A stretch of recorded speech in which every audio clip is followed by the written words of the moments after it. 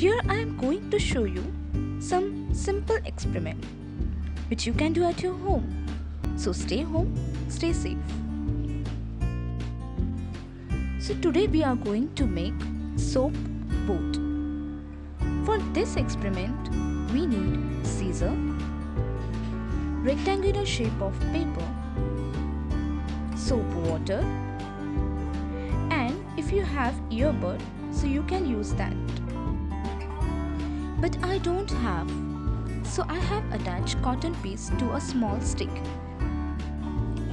And here I have steel plate which is filled with some water which you can see here.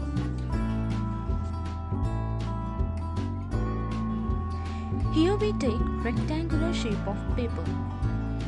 Then we are going to fold this paper as you see here.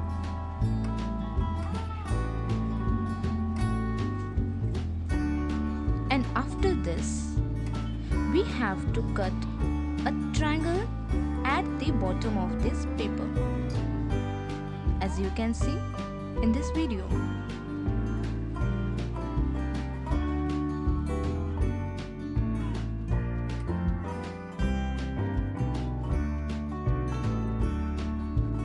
So here our boat is ready.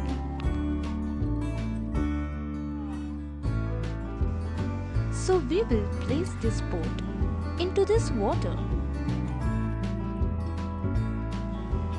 and put little soap solution behind the boat and you can see moving ahead. Wow! This has happened due to surface tension.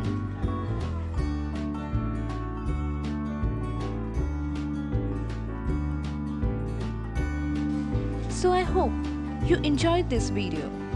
So thank you for watching this.